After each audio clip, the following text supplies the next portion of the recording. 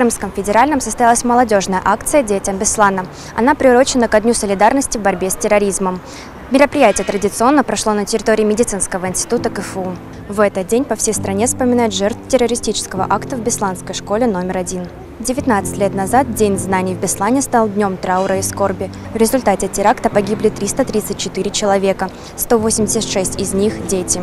Пока мы помним, пока мы дышим, пока мы знаем источники этого зла, мы всегда найдем оружие против терроризма. И главное оружие – это наше единство, единство великого народа России.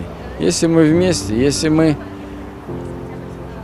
идем вперед к одной общей цели, то никакие террористические акты, никакие военные угрозы нас на этом пути не остановят.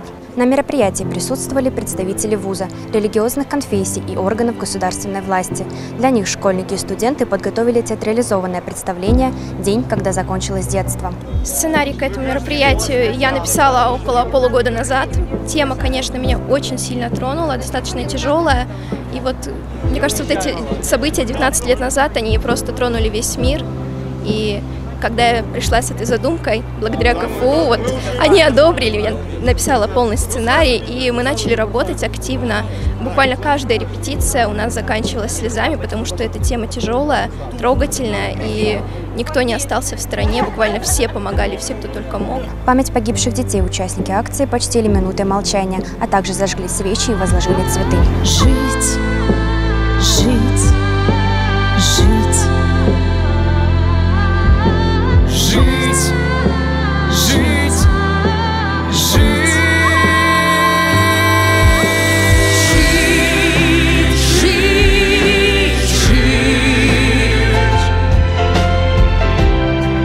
Как научиться в мире жить?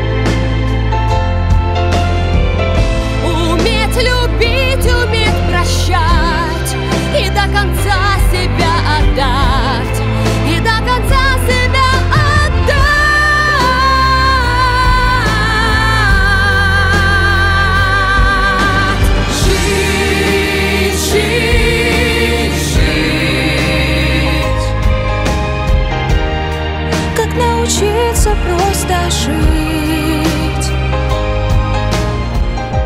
Акция в Крымском федеральном проходит ежегодно. Теракт в Беслане – это трагедия без срока давности. Мы всегда должны помнить о тех кровопролитных событиях и объединяться для противостояния экстремизму и терроризму.